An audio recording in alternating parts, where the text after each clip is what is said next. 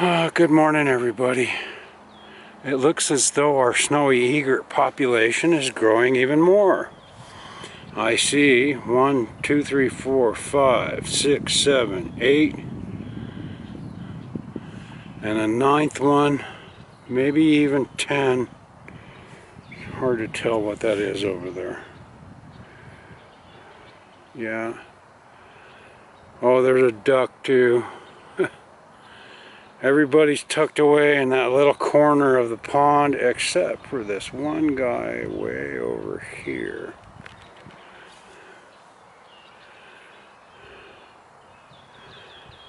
And that's why I didn't notice them when I came into the park. They are today living undercover. Well, sorta. At any rate, it's neat to see this many of them in one area.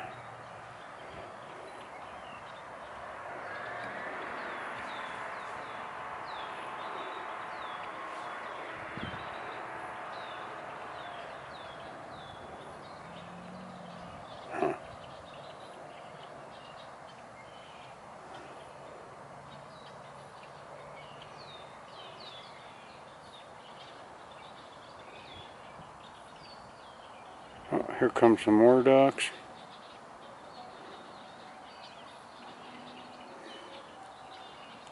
So you can see that this old St. Louis Natural Trail has really started to pick up and at this point is really very beautiful. This is the Mad Camera Guy in Loveland, Colorado. Thanks for watching.